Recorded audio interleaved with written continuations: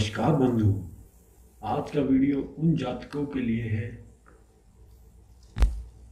जो किसी न किसी मुकदमे में फंसे हुए हैं और मुकदमे में सफल होना चाहते हैं।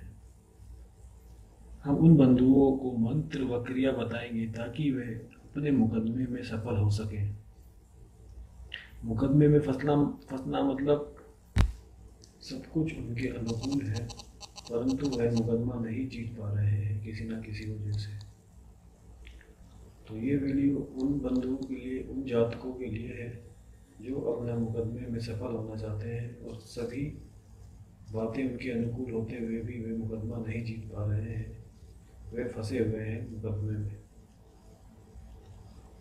तो आइए जानते हैं कि कैसे करना है ये प्रयोग। प्रातः काल। गजेंद्र मोक्ष का तथा सायकाल शनि दशरथ का पाठ करें बंधु।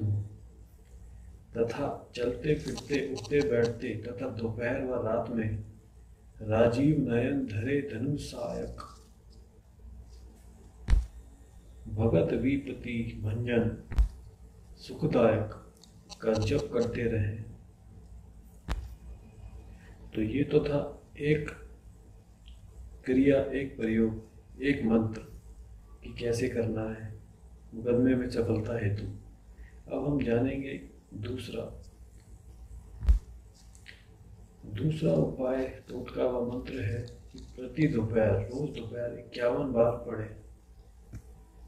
क्या पढ़ना है? वह है ये मंत्र जो मैं आपको बताने वाला हूँ। जो प्रभु दीन दयाल कहावा, आरती हरण वैद जसु गावा। जपही नाम जन आरत भारी, मिटही कुसंकट होहिं सुखारी।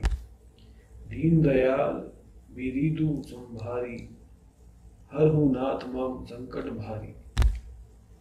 तो बंधुओं, ये था मंत्र आपके लिए। यदि आप मुकदमे में फंसे हैं तो आप ज़रूर इस मंत्र का जाप करें। आप इस वीडियो को लाइक कर सकते हैं शेयर कर सकते हैं और हमारा चैनल सब्सक्राइब कर सकते हैं।